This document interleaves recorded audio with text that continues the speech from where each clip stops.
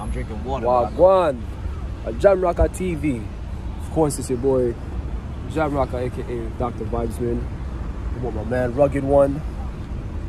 We on a road trip to Philly. Yep, yep. We headed out to Philly.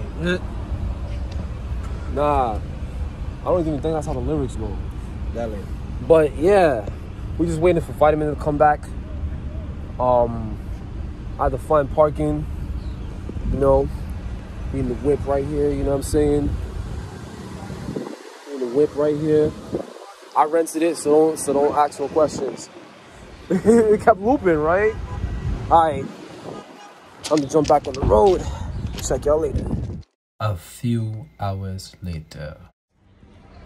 Yo, what's going on? Vitamin the Governor here. FRC. Yo, we just um, Master came from Iron Fresh Studios, and we um, it was a really positive, really great event. Yes. The rawness was here. The rawness. Yep. You know what I mean? It was an ill space, and a lot of great energy. Some heated battles. Some nice call outs. Yep. People can't believe it. Yo, when the footage comes out, we Yep. gonna- we, we had a lot of fun in there, man.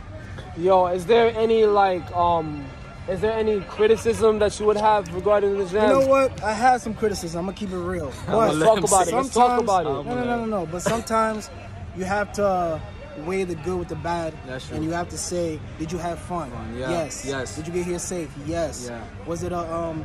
Was it good music? Yes. Yes. Was there a great environment? Yes. Our comrades from New York were here. Other people in Las Vegas, California.